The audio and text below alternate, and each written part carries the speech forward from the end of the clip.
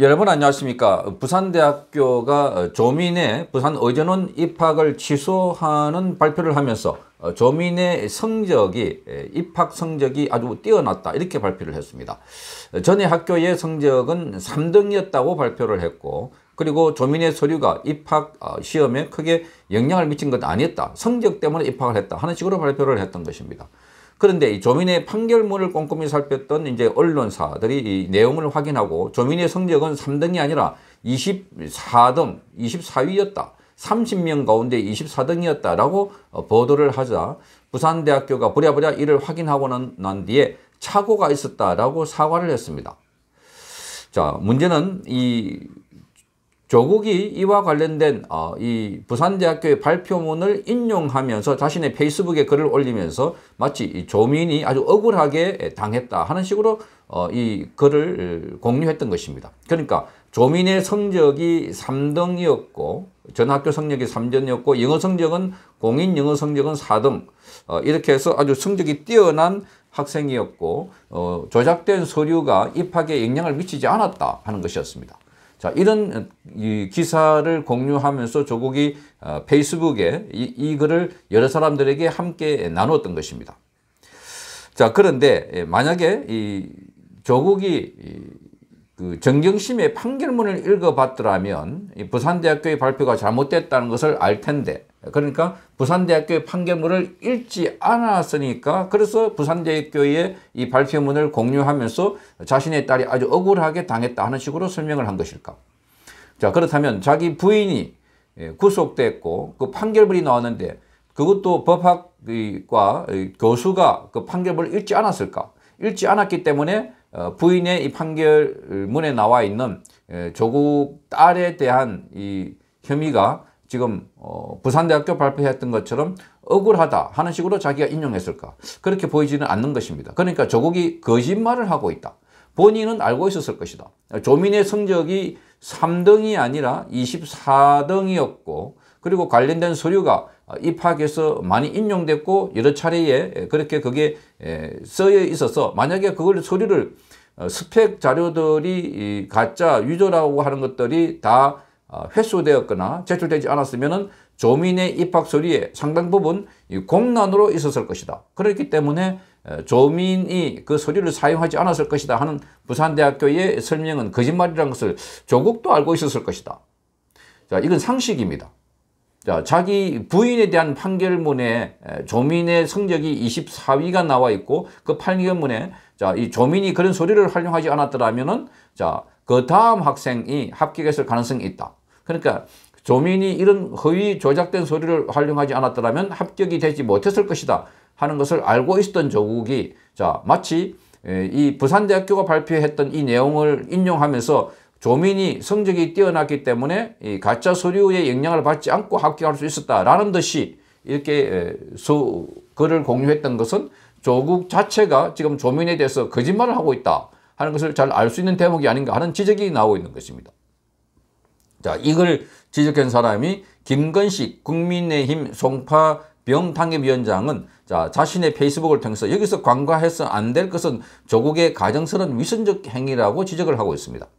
자, 김건식 위원장은 자, 아내 정경심 교수의 판결문을 당연히 읽었을 조공인데도 부산대학교가 판결문과는 달리 엉터리 성적, 성적을 발표하고 어, 표창장 위조가 당락에 영향을 미치지 않았다는 얼토당토하지 않는 거짓말을 했음에도 불구하고 조국은 가정스럽게 부산대 발표를 인용하며 조민의 우수한 성적을 사실인 양 어, 전제하고 입학 취소의 부당함을 공격하는 위선과 이중성을 보였다. 이렇게 직격탄을 쏘았습니다. 그러니까 위선과 어, 거짓말의 달인인 조국답다라고 적은 것입니다. 자, 이게 조국의 보시는 보이는 페이스북에 올린 글입니다. 이 이날 조국은 아시아 경제에서 부산대학교가 발표한 내용을 그대로 지금 기사를 적고 있습니다. 여기 보면 이 아시아 경제 기사를 보면 자 조국이 이 조민이 조민이 입학 어, 이 성적을 보면 자 1차 서류 통과자 30명 중에 조씨가 19위였고 전적 대학 성적은 3위였다. 공인 영어 성적은 4위였다. 자기 소개서 내용에도 허위 경력과 동양대 표창장 내용은 인용하지 않았다 하는 것들이 들어 있습니다.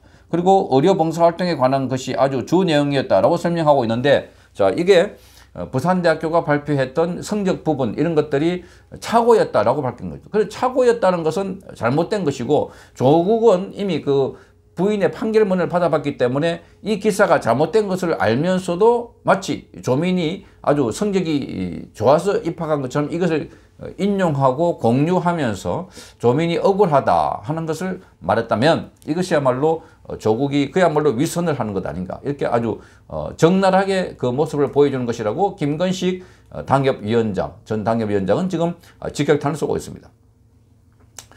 이 김건식 위원장은 조국은 1심 판결물과 다른 부산대 발표를 보고서도 뻔뻔하게 마치 그게 사실인 것처럼 페이스북에 인용하면서 조민의 입학 취소의 부당함을 선동하는 짓을 태연하게 자양했다. 이렇게 비판했습니다. 도대체 조국의 가정스러움의 끝은 어디인가 라고 말하고 부인 판결문이고 본인도 관련 범죄의 재판을 받고 있는 것입니다. 자, 당시 적각 항소에서 다투겠다고 전의를 불태운 만큼 1심 판결문을 그가 꼼꼼히 읽은 것은 아주 당연한 일로 보입니다.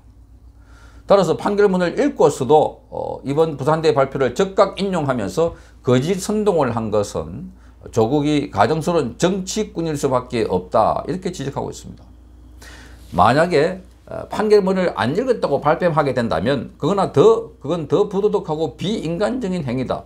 자, 부인이 부인이 법정 구속되었고 본인 혐의와도 직접 관련이 있고 또 딸의 입학 취소와도 연관이 있는데도 불구하고 판결문을 읽지 않고 적각 항소해서 다투겠다고 하는 것은 정치 선동에만 몰두한 것이기 되기 때문이다. 그런데 아무리 봐도 조국은 이 판결문을 읽지 않은 사람이 아니다. 어, 명식이 교수라는 사람이 그것도 법대 교수라는 사람이 판결문을 읽지 않고 그랬을까. 자 그러면서 김건식 위원장은 도대체 언제쯤 철이 들고 죄를 인정하고 참회하고 반성할까? 노답 조국이다. 자, 이게 아주 좋은 표현으로 철이 들다. 이 철이 들고 죄를 인정하고 참회하고 반성한다. 그러면 지금은 조국이 철이 안 들어서 그런 걸까? 도대체 이해가 안 되는 대목들이 너무나 많습니다. 이해가 안 되는 대목. 그래서 조국 어머니가 조국에 대해서 마치 조국을 예수로 비유하듯이 그렇게 그를 어, 정의 구현 사재단에게 대표 신부에게 보낸 편지가 있었습니다. 어, 마치 자기가 어, 십자가로 보내는 그 아들을 바라보는 어머니인 것처럼 조국 어머니, 조국 어머니가 그런 어, 어머니인 것처럼 이렇게 비유를 해서 쓴 것을 보고 야 그러니까 이런 확신을 가지고 있어서 그러니까 일종의 종교적인 신념을 갖고 있기 때문에 저렇게 뻔뻔하게 할 수 있구나. 많은 사람들이 대개의 경우 상식이 있고 또 양심이 있기 때문에 저럴 경우는 이렇게 잘못했다고 고개를 숙이고 사과하고 또 감히 저런 걸 글을 적어서 이렇게 항변하지 못할 텐데 거짓된 증거를 가지고 그런데도 불구하고 할 수 있는 것은 저렇게 일종의 신앙 어, 신념 넘어서 신앙처럼 행동하고 있는 것이 아닐까 그렇게 생각하고 있는 것입니다. 자, 부산대학교는 입학 전형 공정관리위 실무자가 착오가 있지 않았나 보여진다 이렇게 말하면서 허위 성적을 기자회견에서 직접 설명한 부총장도 아주 많이 놀란 상황이다 이렇게 설명을 했습니다. 자, 부산대학교가 자체적으로 조민의 성적을 검토한 결과 아, 조민의 대학 성적은 3등이 아닌 24등이 맞은 것으로 나타났습니다. 자, 이를 그대로 인용한 조국 정말 대단하다.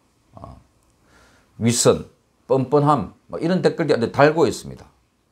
그러니까 어, 끝까지 부산대학교도 이 조민에 대한 어, 이 지지, 조민을 합격 어, 한 것에 성적에 영향이 없다 이런 걸 강변하고 싶은 내용이 들어있는 것 아닐까라고 보여주고 무엇보다도 당사자인 조국이 어, 그렇게 잘못된 정보를 어, 부산대학교가 발표했으면 그걸 인용해서는 안 될 그야말로 가짜뉴스 다시 확산 재생산하고 있는 그런 조국이 아닌가.